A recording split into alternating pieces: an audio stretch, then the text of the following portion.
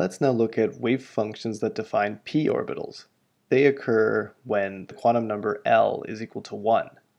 Looking at the angular part of the hydrogen atom solution, y as a function of theta and phi, the three solutions are the square root of 3 over 4 pi times cosine theta and the square root of 3 over 8 pi times sine theta e raised to the power of plus or minus i phi where the plus or minus is related to whether or not m is plus 1 or minus 1.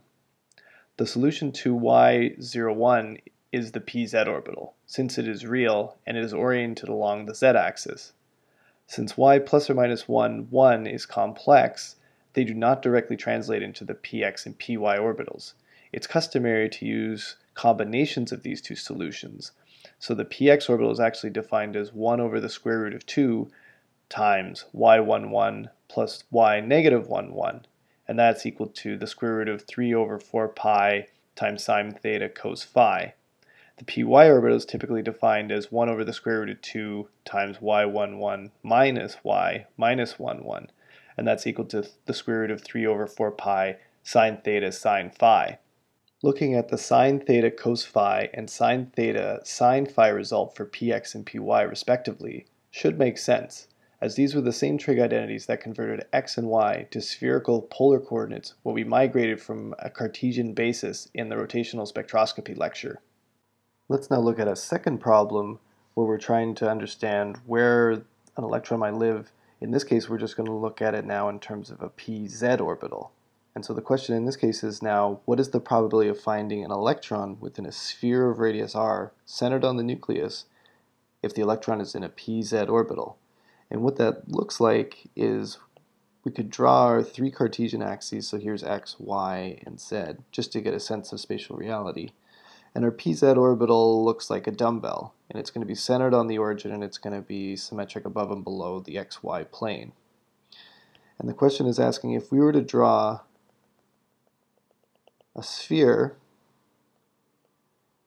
of radius r, what is the probability of finding the electron within that sphere? And so the integral of what that looks like, well, that's going to be integral between 0 and r,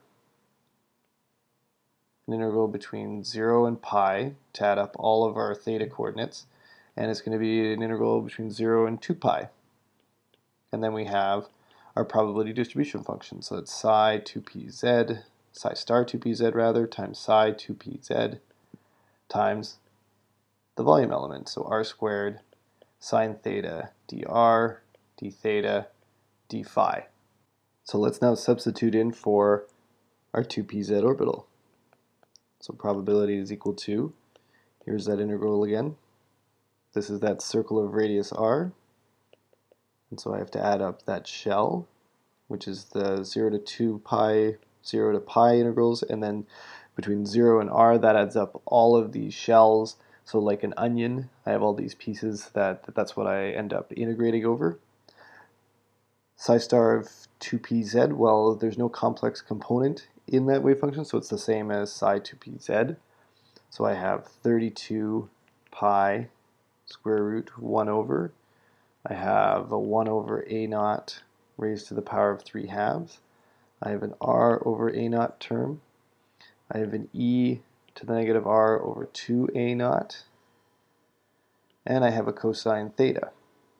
I duplicate this term, 1 over 32 pi squared, 1 over a naught, 3 halves, r over a naught, e to the negative r over 2a naught. And to that I'm going to be multiplying cosine theta, which finishes psi of 2pz. And then I have the volume element, r squared sine theta dr d theta d phi. Now this term that I actually just substituted in for psi of 2pz, which is this 1 over square root of 32 pi times 3 halves, or 1 over a naught raised to the power of 3 halves times r over a naught times e to the negative r over 2a naught times cosine theta That term is different than the one that I was talking about in the previous slide because the one that I was talking about in the previous slide was just the angular component, was just the y theta of phi. And so now in this case, I've now multiplied it by the function of r, which comes from the solution of the Schrodinger equation for the hydrogen atom. This is the part that we solved for today, and that's where the rest of these pieces came from.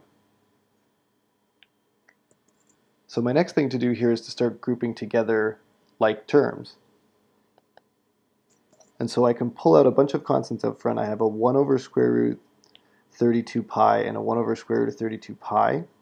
I also have this a naught 3 halves and this a naught 3 halves, and I also have an a naught here and an a naught here on the bottom. So all of that can come out front. And so what I end up with is 32 pi a naught raised to the power of 5. I then I'm going to get, I'm going to group together all of my terms of r. So I have a term of r there, I have an exponential with terms of r there, I have a term of r there and an exponential with terms of r, and I have an r squared there. So r's, just on their own, I have 1, 2, 3, 4. So the, hence I get an r to the power of 4. And these two exponential terms, well, I can, when I multiply them together, I add up the term and their exponents, and so I have negative r over 2a naught plus negative r over 2a naught. So it's essentially 1 half plus 1 half is 1. So that gives me an e to the negative r over a naught. And I'll carry through the dr. My second integral has to deal with theta. And so my terms of theta, well, I have a cosine theta, a cosine theta, and a sine theta, and a d theta. So that means then, I, since I've got two cosine thetas, I get a cosine squared theta times sine theta d theta. And then finally I have an integral over phi. And the only term in phi that I have is my d phi. So I will just write that integral right at the end. So then evaluating these three integrals and then multiplying them together will be our strategy to solve this this problem. And so the first one that we're going to solve is this rightmost one, this integral in terms of phi. And principally it's because it's the most straightforward one, because if we take the, the integral of d phi, we end up with just getting phi, evaluated between 0 and 2 pi, which is pretty straightforward. The second integral is this middle one, this one in terms of theta. This one actually looks somewhat difficult, but it really is straightforward. If we look at the antiderivative of this, we can reason that that integral is actually just going to be negative cosine cubed theta over 3. And that will be evaluated between 0 and pi. And if we were to take the derivative of, of that term, you would end up getting back cosine squared theta sine theta d theta. And so that's why we can right away just write in that term. The final one, which is this term or this integral in terms of r, well this one will require us to do integration by parts and we would have to do four iterations of that. And so rather than doing that all for you today right here, I will just give you the solution since this is something that is readily available on Wolfram Alpha or some other integration software. But the solution to that integral is e to the negative r over a naught, negative 24 a naught raised to the power of 5 minus 24 a naught raised to the power of 4 times r minus 12 a naught cubed times r squared minus 4 a naught squared r cubed minus a naught times r raised to the power of 4. And of course up front I'm going to still maintain this 1 over 32 pi a naught raised to the power of 5. The final thing that I've forgotten to write down here of course is the bounds of my integration which is between 0 and r.